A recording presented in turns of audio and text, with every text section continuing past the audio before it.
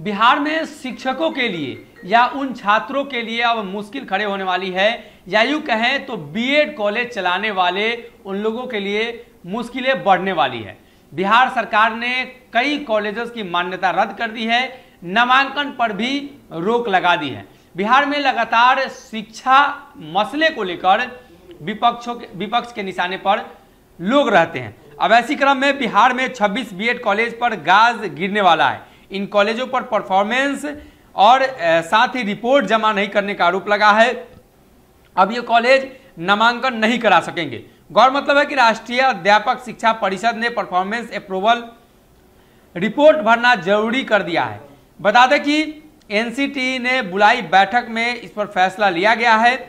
आदेश जारी कर दिया गया है कि ललित नारायण मिथिला विश्वविद्यालय ने सभी विश्वविद्यालय को नोटिस जारी कर एफिलिएशन मिले हुए सभी बीएड कॉलेज की लिस्ट मांगी थी, जिसमें पूछा गया था कि आपके विश्वविद्यालय में एफिलिएशन प्राप्त कितने बीएड कॉलेज है, जिससे पीआर जमा हो चुका है। लगभग 26 कॉलेज ने पीआर नहीं भरा है।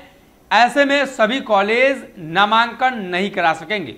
वहीं बीएड कॉलेज में नामांकन के लिए ज्वाइंट इंट्रेंस एग्ज़ाम के लिए एक लाख इकसठ हज़ार छात्रों ने आवेदन दिया, जिसमें एक लाख छब्बीस हज़ार छात्रों ने शुल्क की राशि भी भर दी।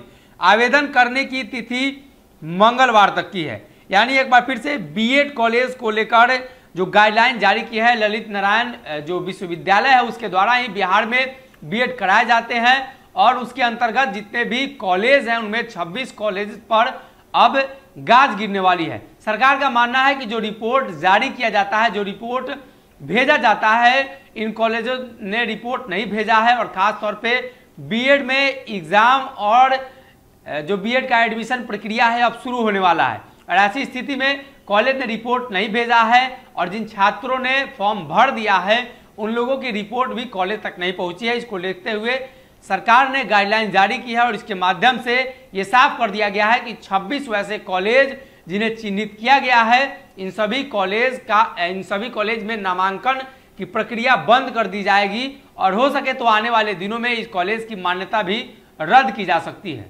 अगर ये वीडियो पसंद आई और वह बिहार के राजनीति और बिहारियत से सरोकार रखेनी तो सब्सक्राइब बटन दबा के चैनल के सब्सक्राइब कर ली। ओजे एगो घंटी बा। ओकरा बटन दबा देला से कुल सटीक और मारक खबर रुआ मुफ़्त में मिल जाई। अगर रुआ पत्रकारिता के हमनी के नया प्रयोग में सहयोग कर चाहतनी तो ज्वाइन बटन दबा दी। पेटीएम नंबर नोट कर ली nine three eight six eight one six seven double zero. धन्यवाद।